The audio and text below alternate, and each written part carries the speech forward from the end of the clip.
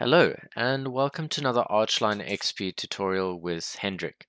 In today's tutorial we're going to be looking at how to actually import and export a DWG file and once you've imported a DWG file how to actually scale that and how you can actually import all the geometry that you can actually reuse or that you can draw over.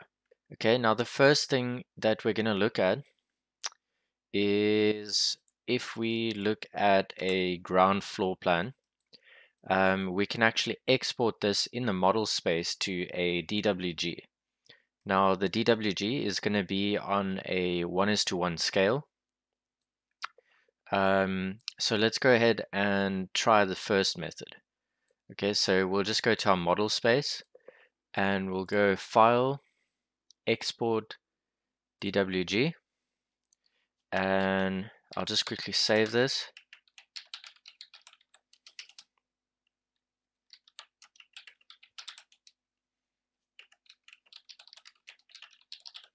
Okay, so I'll save that into my folder. So there's, you could either export one floor at a time, or you could actually export all of your floors um, into one single file.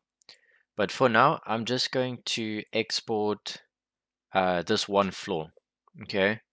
So do you wish to export all of them in one file or just for each floor in one step?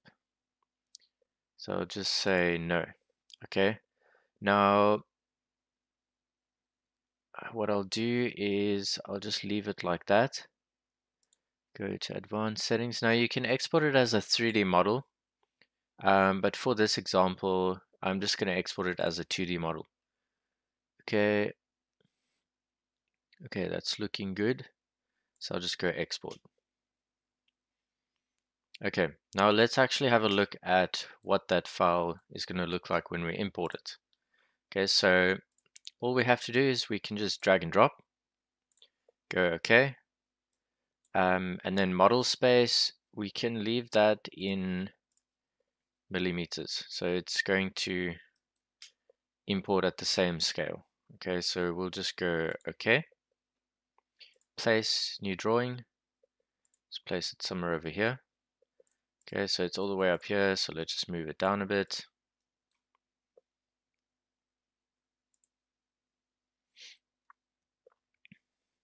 Okay, and as we can see, that's the same exact size because we exported in a model space. Um, and it basically exported to a 1 is to 1 scale. Now we have some layers that we need to turn off before we export. Now we can just delete some items in here that we don't want to see in our DWG. Like that, right there, right there. And we can just clean it up a bit. We can remove any items we don't want to see like that. Okay, just delete this. Okay, now as you can see, what we have now is actual geometry that we can work with and all the items are imported basically as a little group. Um, so if we look at, for example, these dimensions, they are actually imported as um, dimension markers. Okay, and also the text. So you can also edit the text. Um, so yeah, and the geometry, let's have a look at this. So that's a group. Um, we can go to whenever we want to edit something, you can just go to edit group and you'll see that this is actually a hatch. So for example, if we change it to something else, okay, that's actually going to change. So Archline XP recognizes the whole DWG file, all the layers, um, all the hatches, all the lines, and all the text. Okay, so I'm going to close this group and I'm going to delete this. Okay, oh, one thing that you also might want to know is just to verify uh, using dimension, measure, distance. Okay, now we have to bear in mind that uh, when I placed these dimensions, they were rounded off. Um, that was just the default way that I placed them. Okay, so that's looking accurate. Like I said, it was rounded off to the nearest decimal. Um, and you have to take that into account. Okay, so I'm just going to go ahead and delete this. Okay, and now we'll go to a paper space. Let's just have a look at where I placed it. So what I did right here was I simply dragged my ground floor over like this and I set a scale. So this is in a paper space, 1 is to 100. Okay, now what we can do is we can simply go File, Export, and DWG. Okay, and I've exported it right here as a, a ground floor plan. Now this is going to be a scaled DWG. So we'll go to our floor plan, okay, and what I'm going to do is I'm just going to drag and drop, just make sure that this is the correct file. Okay, so I'm just going to drag and drop it. Okay, now there's something we need to just double check. Um, so this model is, sorry, so this paper space is in 1 is to 100. Okay, so 1 millimeter is going to be interpreted as 100 millimeters. So all we need to do is we need to go to AutoCAD unit as, go 100 millimeters, and we can just check some of these settings right here. Okay, and that's looking good. Okay, uh, and just go okay. And we'll place a new drawing origin. Okay, and we can just uh, quickly verify. So that's looking pretty good. Um, so let's just verify now. Okay, we'll do this distance. Okay, one five, sorry, one nine five nine. Okay, now like I said, um, when I did this drawing, uh, I didn't include any decimal spaces, um, so it was rounded off. Um, so that's looking quite good. Okay, so that's also looking good. Okay, now a different scenario would be if you imported it um, and there's no scale. So let's imagine if we import a drawing and there's no scale like that, and we have no idea what to scale it to. So there's two ways to do it. Um, so normally your drawing would have like a small scale bar right here that often happens or another way to do it is to dimension it from a known dimension. Now you have to take account that when you scale it, um, it largely is going to depend on the accuracy of the dimension. So if the dimension is exact, um, then it should be fine.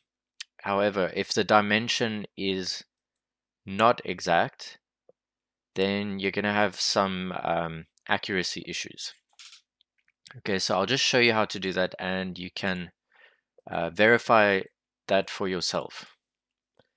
Okay, so let's have a go at that.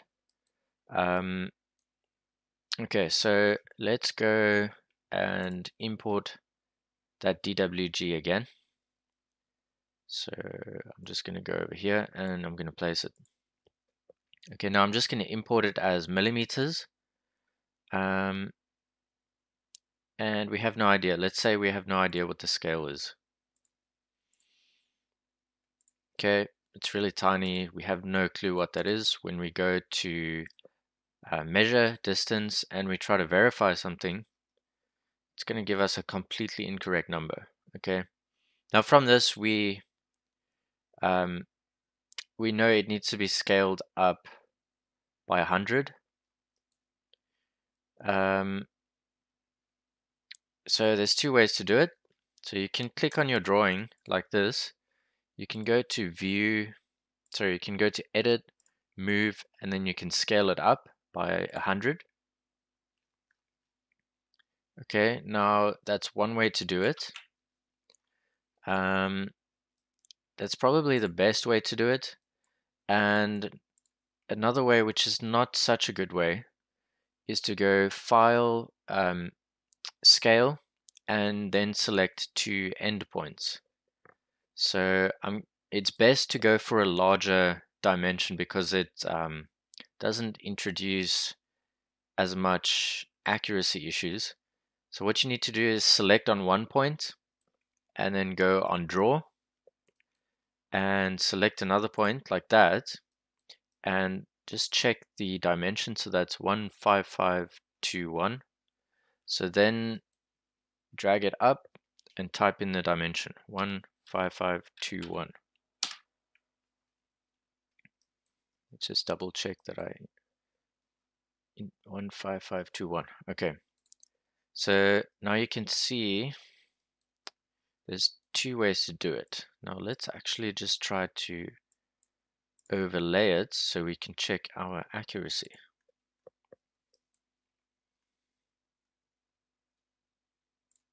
Okay now you can see um let's try that again.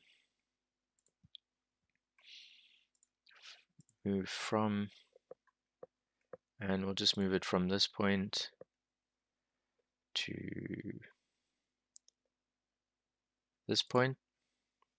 And as you can see it's fairly accurate. Um, let's see. It's slightly inaccurate. If you can zoom right into the lines, you can see it's slightly inaccurate. So the best way is to have a scale on your drawings um, to reduce any inaccuracies. However, if you if you have a, a drawing that you don't know the scale, you can just um, use that scaling method that I just showed you. Okay, so um, the last thing that I'll show you is once you've imported a DWG, um, so you can actually save any one of these items as a 2D group. So let's say, you know, you have a detail and you want to save it. So let's just pretend that this is a detail. You can just hover over it. Um, and then you can go to drafting, group, and you can go create group in library. So you just need to select the two points whatever points that you want to use and you just hit enter um, and now you can actually save it into your library. If you liked this tutorial session and think that it was useful for you, please leave likes and comments below. Um, any feedback would be greatly appreciated. And stay tuned for future content um, exploring how you can create models in Archline.